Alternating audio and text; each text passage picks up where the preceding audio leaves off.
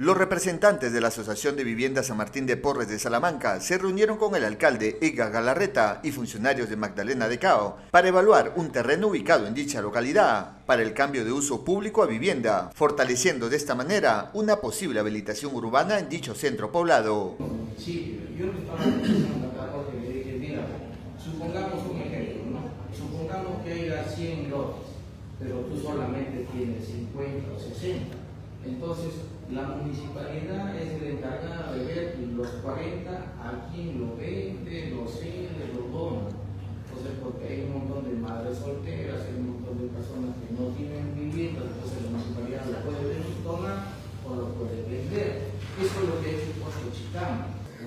decir hoy sí solamente por, por, cumplir, no, sino hasta qué punto y también le tenemos diciendo, mira, esto de acá está aquí, estos son los acuerdos, como alcalde, como regidores, y le llamaremos a ustedes porque ustedes son los que, los que digamos, los que se han preocupado por, por, venir acá, ¿no? Y, yo también tengo que sacar una, una conclusión porque como autoridad, también si dentro de tu autoridad está para mejorar algo, pues hay que hacerlo, ¿no? Ese, ese, ese, pero no quisiera las especulaciones por atrás, ¿no? o sea, cualquier cosa yo siempre digo acá, estamos para conversar, para eso, porque a veces se ve mal que, que a veces vayamos a crear falsas expectativas, algo que no, sacando palabras que acá no se dicen y a veces comentando atrás, eso no, ¿no? Aquí yo, yo tengo otra formación, me gustan las cosas así, de tú a tú, hablar y aclarar, y hasta donde, si se puede, se puede, si no también se dice no se puede, y, quedamos, ¿no? Pero esta reunión ya lo tengo claro, ¿no? Y vamos a tomar las acciones lo más pronto posible para poder este, declarar ¿no? Como digo, también hay que misma, para que después no digan, no, el alcalde viene acá y hace lo que quiere, quiere, quiere que es un terreno, ya vino, ya le dio el señor, ya el señor, ¿no? Porque así somos, pues en un pueblo, a veces todos no, todos no nos llevamos a la perfección, siempre vemos gente que, gente que, que habla bien y gente que habla mal, ¿no? A veces tú haces una cosa, o te critican.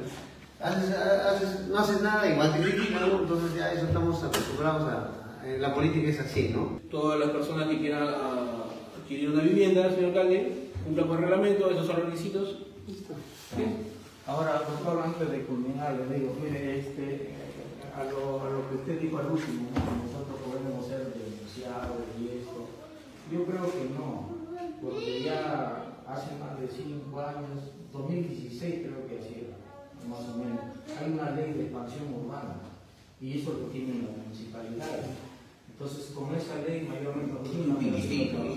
Un fin distinto, De igual manera, pero se me he olvidado de traer los documentos por salir adelantado. ¿no? Bueno, el doctor va a poner su pedido conforme... En esa, esa área, como ustedes saben, está como manera relacional. Sí, sí, sí. El, el doctor va... Lo, lo, que sí es, eh, doctor, este, eh, ¿cómo hacemos llegar el tema del, del expediente de inversión urbana para que su área... Esa es parte, pues, ¿no? No, yo le sugiero otra cosa. Este, el, pedido, doctor, el pedido formal del terreno, las viviendas, debe ir en un escrito con sus argumentos, razones y documentos que tengan ustedes. Eso me parece. El tema del documento que tienen ustedes avanzado, y me parece bien que usted comparta, que ese es un tema que debería, ahí se comparte usted.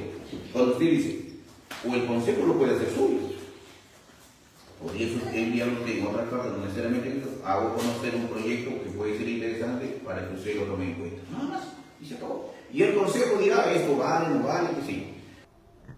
Bien, con el asesor legal. Doctor, ¿cuáles son los parámetros para que se pueda llegar a este proyecto de habilitación urbana donde los pobladores de Salamanca pues están proponiendo a la comuna de Magdalena? Bueno, lo primero que vamos a ver es su pedido reformulado porque hubo un pedido anterior que incluso por cuestiones de procedimiento se le ha negado. Hay una reformulación en cuanto a que quieren ellos eh, como una especie de compra-venta, que es una posibilidad todavía no cerrada ni determinada porque eso está sujeto a evaluación de los técnicos, como también del Consejo que es la, la máxima autoridad para hacer actos de disposición de bienes.